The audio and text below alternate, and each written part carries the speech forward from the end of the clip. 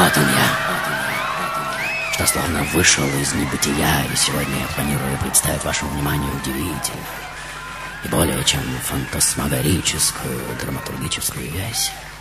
Я прошу вас, схватите эту метафору, постарайтесь.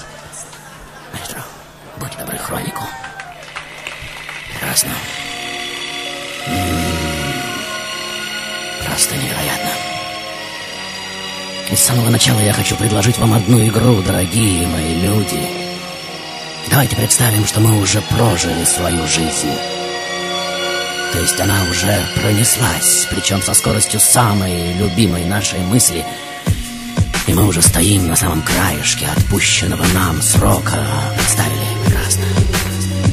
Видим, что совсем даже не бездарно прожили свою легенду. Мы ведь добились всего, чего хотели, верно? В итоге материализовали тот самый образ себя, о котором мечтали с детства. Превратили свою жизнь в так называемую легенду. И теперь она будет храниться в веках. Да-да. И вот она.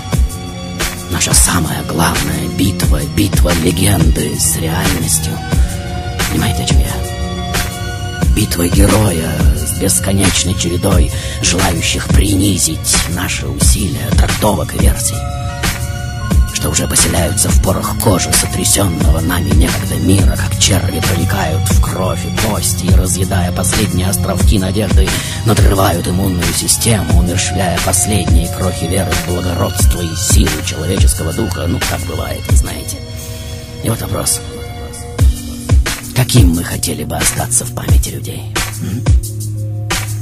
Таким, каким мы были на самом деле, или таким, каким нас отразили каждый в меру своих способностей жителей мира, есть ли между этими двумя образами разница, и какой образ выстоит в этой, конечно же, неравной схватке, как вы думаете, реальный или мифический? Кто-то, конечно же, уверен, что легенда прогнется. Но кто-то качает головой, приговаривая тьмы низких истин.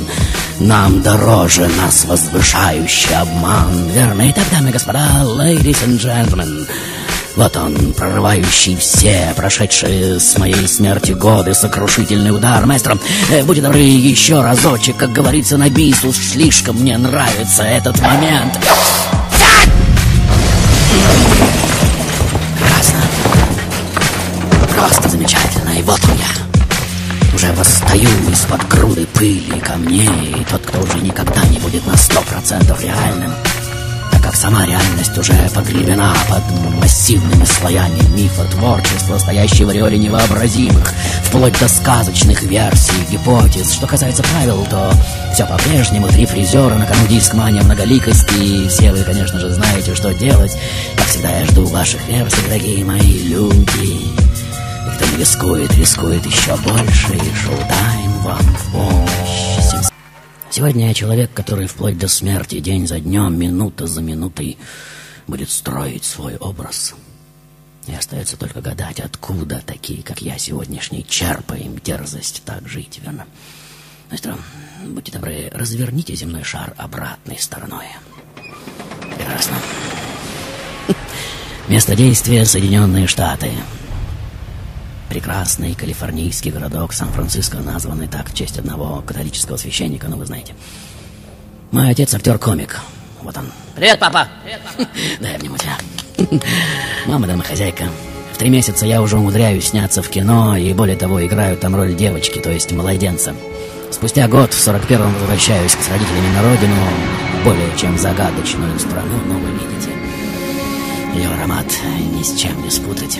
В 46-м снимаюсь в еще одном фильме, который всю оставшуюся жизнь буду считать своеобразной точкой отсчета. В 13 прихожу после одной из уличных драк домой и говорю маме, «Мама, почему меня постоянно задирают в колледже? Это происходит слишком уж часто. Я не могу больше этого терпеть. Я хочу научиться драться». Ну, такова легенда. И фраза эта звучит слишком уж по-киношному, верно?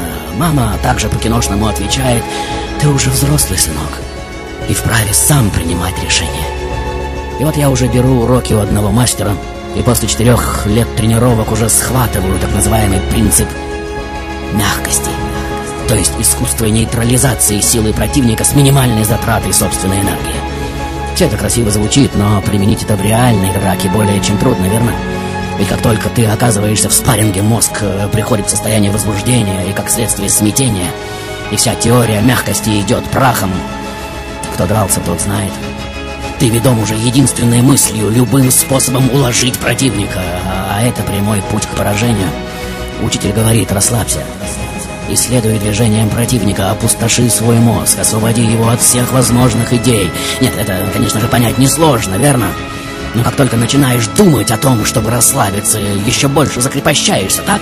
Учитель снова говорит, только следуя естественному ходу вещей.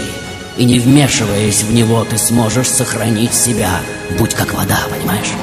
Как вода. Никогда не встречай проблемы лоб в лоб, но двигайся в легком соприкосновении с ними. На этой неделе не тренируйся. Иди домой и думай. Всю следующую неделю я сижу дома. Но в конце концов не выдерживаю, иду к морю, сажусь в джонку и начинаю грести. В голову, конечно же, лезут картины с последней тренировки, то, как глупо я себя вел в поединке. Я со всей силы ударяю рукой по воде. Обратите внимание. Вот она, эта мысль что внезапно поражает мой мозг удивительным переживанием. Я надеюсь, что кто-то из вас тоже близок к этому осознанию. Мастер, э, будьте добры, повторите этот момент еще разочек. А! А! Видели? Мягко расступилась под моей ладонью. Я тогда нанес удар еще раз, вложив в него всю свою силу. И опять она мягко расступилась. Будь как вода всплыли в голове слова учителя. Я попытался схватить ее пальцами, сжать в кулаке, но это оказалось мне не по силам. Она как будто играла со мной. Вот она, самая мягкая субстанция в мире, подумал я. Она может заполнить любой сосуд, любой формы, может принять любую форму, замерзая, может разорвать любую емкость, монотонно капая, может пробить камень и металл, в состоянии возбуждения может стать смертоносной для всего живого, конечно же. Конечно. Я должен быть как вода. Таким же сокрушительным и таким же многоликим. Вот он я. Тот, кто недвижимо сидит в колышащейся на волнах джонки, я уверен, в жизни каждого человека есть такой момент, когда в сознании вдруг вспыхивает образ. И ты точно знаешь, что он содержит в себе в сжатой форме всю твою жизнь и укрытые в нем шифры и коды ты будешь распаковывать теперь до самого последнего дня.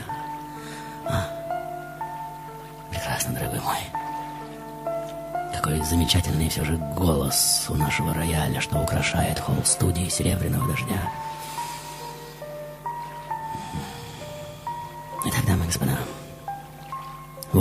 Момент, когда надо мной пролетает птица, и тень от нее скользит по воде, но вы видите, и разве не так же, как отражение облаков в воде, должны проноситься в моем сознании все мои эмоции, что возбуждаются видом грозного противника, например, страх, гнев, зависть, амбиции непременной победы?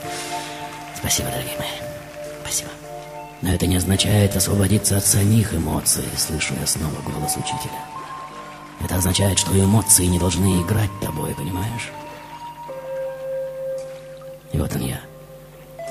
Тот, что лежит на дне джонки и смотрит в небо, лежит без движения, предоставляя лодке двигаться свободно, куда ей захочется.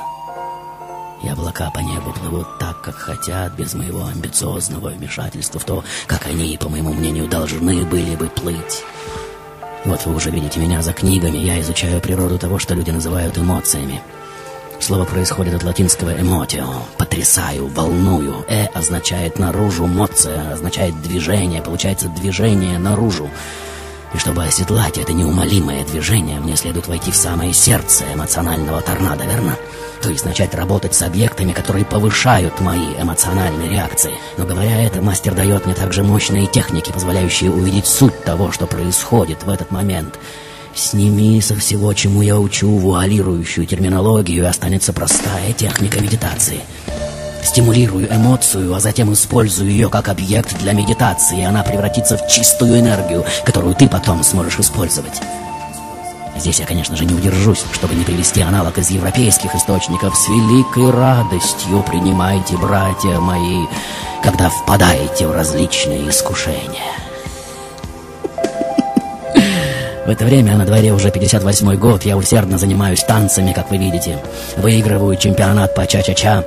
Вижу, что танец имеет некую тонкую связь с бойцовскими задачами. Это заставляет меня предложить даже своему учителю научить его этому танцу. И вот она, эта дикая драка, когда, будучи уже достаточно тренированным и далеко не слабым, я танцуя сбиваю с ног трех обидчиков, и двое из них с тяжелейшими травмами попадают в больницу. Впоследствии выясняется, что я покалечил членов древнейшего преступного сообщества. Мои родители, опасаясь за мою безопасность, срочно отправляют меня в Штаты. Как вы помните, я родился там, и проблем с гражданством у меня нет. Хотя кто-то из биографов утверждает, что все это обычная легенда, что я не сбегал из страны, меня никто никуда не отправлял, что это было просто заранее спланировано, и я уехал учиться. И вот, вернувшись в Америку, я уже устраиваюсь на работу в один ресторан на должность официанта. Днем, когда работы особо нет, усиленно занимаюсь английским и математикой и готовлюсь к поступлению в колледж. Все оставшееся от работы и учебы время полностью посвящаю тренировкам. В 59-м поступаю в высшую техническую школу имени Эдисона. Я, отучившись ровно год, поступаю в Вашингтонский университет на факультет философии. Меня интересуют практически все мировые религии, в особенности буддизм. Если мы посмотрим на людей, которым удалось сконцентрировать перспективу своего развития в некий образ, то нам бросится в глаза следующее. Они используют провалы и неудачи. Неблагоприятные, казалось бы, негативные обстоятельства чтобы из всего извлечь мастерство и творческое воодушевление, верно? Готовые безжалостно отбросить в сторону неработающие старые накопления и методы и в стремлении к цели даже боль, как физическая, так и душевная, обнаруживает у них некую сокровенную красоту, некое благородство, верно? Вот она, основная наука меня сегодняшнего, и даже простое слышание об этой уникальной возможности нашей психики уже повергает кое-кого в глубокое волнение — потому что в состоянии этом, состоянии абсолютного бесстрашия и вдохновения, можно свободно импровизировать в зависимости от ситуации, и степень этого бесстрашия становится спидометром нашего здравомыслия, понимаете? То есть, чем нормальнее мы становимся, тем дальше мы имеем право зайти. И это и есть технология рождения героя, верно? Способного воодушевлять на воодушевляющие поступки других, ну и так далее. Точно так же, как ангелы голыми пятками танцуют на свечах, мое сегодняшнее мастерство скачет верхом на бешеном коне, освобожденной в абсолютную чистоту энергии. Исследуя заветам одного восточного философа, нет во Вселенной ни одной бездны, в которую я не прыгнул бы, приговаривая про себя, если ты упал, то поднимись не с пустыми руками и не поднялся бы с победой. Итак, дамы и господа, все, что можно основательно поколебать в этом мире, необходимо поколебать. Я не прав? Если оно не устоит, так тому и быть. И все это означает, что живые системы способны реализовывать свой потенциал только в пограничной зоне, у так называемого края хаоса. Услышьте меня, дорогие мои. И человек, не познавший свое собственное бесстрашие, бесплоден, как творец на краю хаоса, и система лучше координирует гибкое поведение, лучше приспосабливается и развивается, и в этом бесконечно самообновляющемся танце, чтобы не возникло, все воспринимается мной как информация, числовой ряд, начисто лишенный эмоциональной составляющей. Вот основная позиция бойца. Итак, дамы и господа, когда танцуешь, стань самим танцем. Когда дерешься, самой дракой. Если страдаешь, пребывая в нераздельности созерцания и страдания. Если боишься, бойся, созерцая. Словно ты сам стал бесконечным пространством страха. И вот я бывший официант из Чайна-тауна, что в 61-м уже читает цикл лекций в Гарфельдской школе. О моей физической форме ходят легенды. Боковым ударом ноги я подбрасываю 136-килограммовый мешок с такой силой, что тот ударяется о потолок. Выполняю 50 подтягиваний на перекладине к подбородку на одной руке. Разбиваю в клочья 45-килограммовые мешки несколькими боковыми ударами ног. В течение нескольких секунд удерживаю перед собой 62-килограммовую штангу на абсолютно прямых руках. Электронный таймер показывает, что на расстоянии одного метра я перемещаюсь за две сотых секунды. И вот он, этот поединок, что прорисовывается на экране вашего воображения, все отчетливее отчетливее верно, самый главный в жизни истинного героя.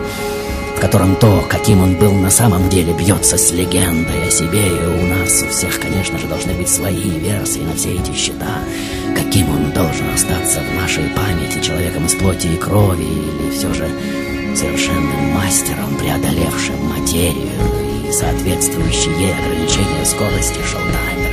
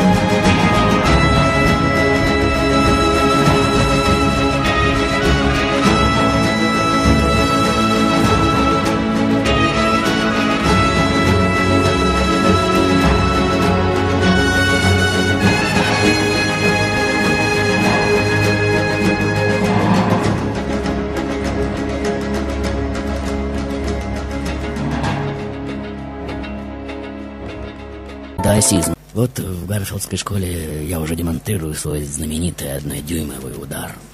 Один из самых коронных своих номеров, и люди, получившие этот удар, нанесенный с дистанции двух сантиметров, без замаха отлетают на несколько метров. Эм, не верите? Хорошо, смотрите внимательно. Извините, дорогой, э, я продемонстрирую на вас. Станьте сюда. Так. Вот мой кулак, ровно 2 сантиметра от вашей груди. Теперь, пожалуйста, выдохните. Прекрасно.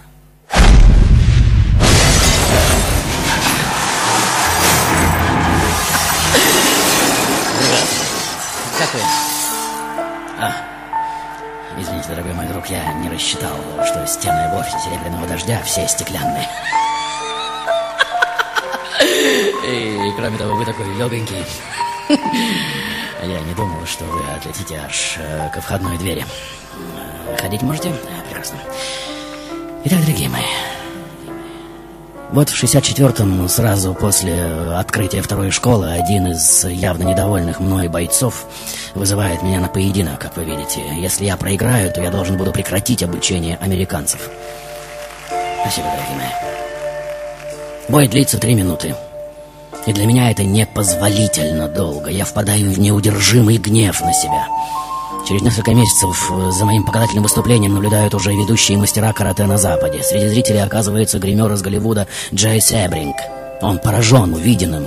И спустя месяц, делая прическу продюсеру Уильяму Дайзеру, рассказывает об этом чудо харизматики. Дайзер тут же приглашает меня на роль в сериале про подвиги одного журналиста, но не на роль самого журналиста, а его телохранителя, возможно, вы знаете.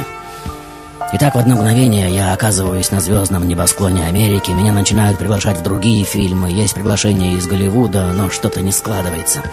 В 70-м, после очередного отказа, я звоню Раймонду Чоу и спрашиваю, ну неужели то, что делается в Гонконге, это все, на что мы способны? Эта дерзость задевает Чоу. Он подписывает со мной контракт, я уезжаю из Штатов и начинаю работу над первым своим фильмом. Примерно в это же время, выполняя незамысловатые упражнения, я серьезно травмирую спину.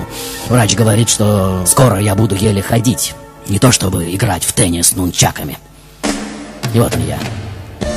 Тот, кто, будучи прикованным на полгода к постели, с вожделением изучает работы великого Джиду Кришнамурти, делает закладки, выписывает понравившиеся мысли и идеи, и в итоге приходит к тому, что травма — это воистину подарок судьбы. Опа! И этот период в моей голове окончательно формирует то, что в самом начале я назвал образом себя. Помните?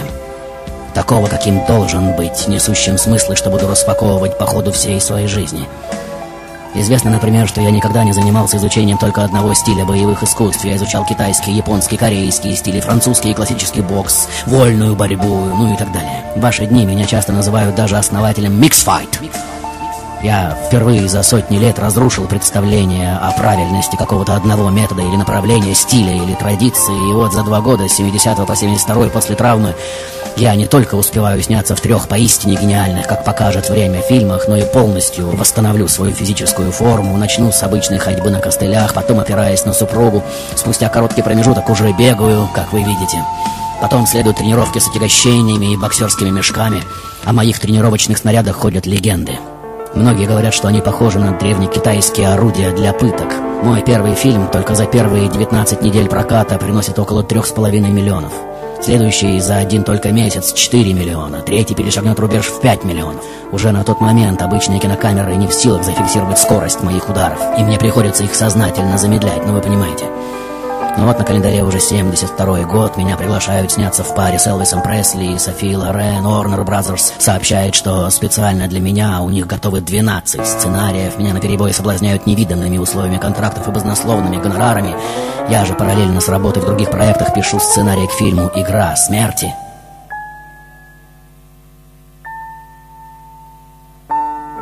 Но сделаем паузу. Надо вдохнуть, выдохнуть.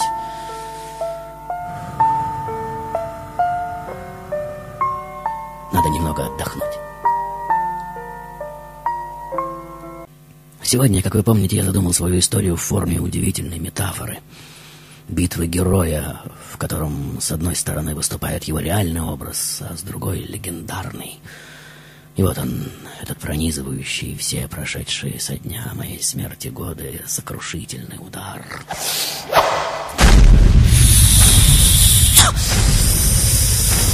Ох и 18 июня 1972 года Зеркальный человечек, мой главный талисман, стоящий на крыше моего дома, падает на землю и разбивается. Ждать осталось недолго. Произношу я, узнав об этом. И вот он этот день, когда меня уже везут в госпиталь королевы Елизаветы, диагноз «отек мозга». Врачи пытаются сделать все возможное, подключают к аппарату искусственного дыхания, делают прямой массаж сердца, но в 23.30 сердце мое все же не выдерживает, и весть это подобно удару ножа в сердце, верно? Примитивный образ понимаю, но более чем точный, как и сам удар. В один миг первые страницы газет вспыхивают моим именем, а спустя пару дней начинается такая вакханалия версии моего ухода, что выдержать такой напор, конечно же, сможет только истинный герой. Выясняется, например, что за полгода у меня уже был подобный припадок. Тогда мне был прописан дивантин, препарат, который принимают больные эпилепсией. Далее газета «Стар» доказала, что меня увезли в больницу не из моего дома, а из дома некой молодой актрисы. Но эта версия, несмотря на то, что ее подтвердили работники скорой помощи, была срочно опровергнута. И это понятно, верный муж, отец семейства, пример для подражания миллионов детей, но он не может умереть в постели другой женщины, верно? Но чем дальше, тем удары, наносимые реальностью по моему образу, будут сильнее и сильнее. И вот кто-то уже утверждает, что у меня было очень много недоброжелателей. На поверхность всплывают конфликты с продюсерами, например, из последнего фильма, который якобы вел нечистоплотную финансовую игру. Доказано также, что перед смертью я выпил таблетку обезболивающего, а на Востоке существуют яды, период распада которых очень короткий. То есть вещество введено, а при вскрытии его уже не обнаружить. И здесь возникает вопрос, почему мое тело вскрыли только через 38 часов? Потом версия, что я умер от передозировки наркотиков, но позже выяснится, что она была проплачена страховой компанией, в которой я был застрахован на 2 миллиона долларов. Один из пунктов гласил, если будет доказано, что я принимаю наркотики, страхователь освобождается от выплат.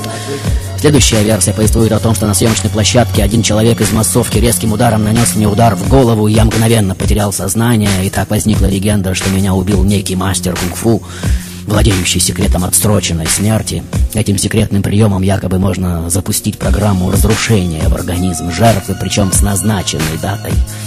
Интересно также, что за несколько месяцев до смерти я завел телохранителя на одной из публичных акций. Услышав, как за сценой хлопнула дверь, упал на сцену, но через секунду уже стоял на ногах, говоря, что принял удар в двери за выстрел. И теперь, внимание, вопрос. Кого я боялся? Зачем носил с собой пистолет в последние месяцы жизни? И вот она, последняя и самая разрушительная легенда о знаменитой азиатской триаде, ну, вы, возможно, слышали. Есть версия, что я тренировал их агентов в обмен на карьеру. На их деньги продюсировал фильмы. И в этом смысле маленький дракон не просто звезда и великий спортсмен, но и такой же бандит, как те, кто вкладывал в его раскрутку деньги. И вот удары, наносимые реальностью по моему сегодняшнему мифу, уже ставят меня на колени. И кто-то уже вспоминает кадры из легендарной игры смерти, тот самый бой с долговязым негром, боящимся света, ну вы помните. Или нет? Чем он закончился, кстати?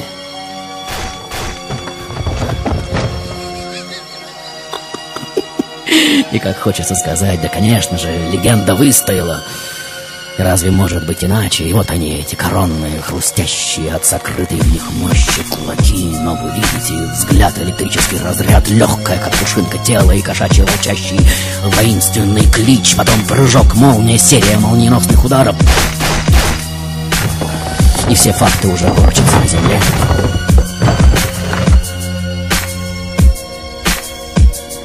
Итак, дамы и господа, сегодня я тот, кто с ранних лет говорил всем, что умрет молодым. И в жизни каждого из нас, конечно же, есть момент, когда в сознании вспыхивает наш и только наш образ. Образ, сжатые коды которого будут распаковываться по ходу нашей пожизненной борьбы за смысл – и дай Бог, чтобы мы выстояли, верно?